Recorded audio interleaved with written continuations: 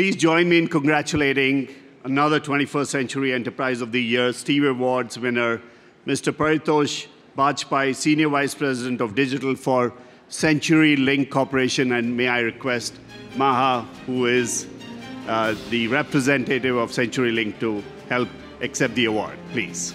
Paritosh Bajpai is the winner of the 2017 Silver Stevie Award for the leader in operational excellence through autonomics. After years of experience with AT&T, Paritosh Bajpai has been responsible for digital transformation for CenturyLink. The transformation is aimed at bringing customer focus into the mainstream and building an omni channel platform for current and future business. Good evening, ladies and gentlemen. I just wanted to accept this award on behalf of Pari. Um, Pari is a great leader, a veteran in telecom industry, and he's very people-centric and a great customer for HCL. So thank you on his behalf. Thank you.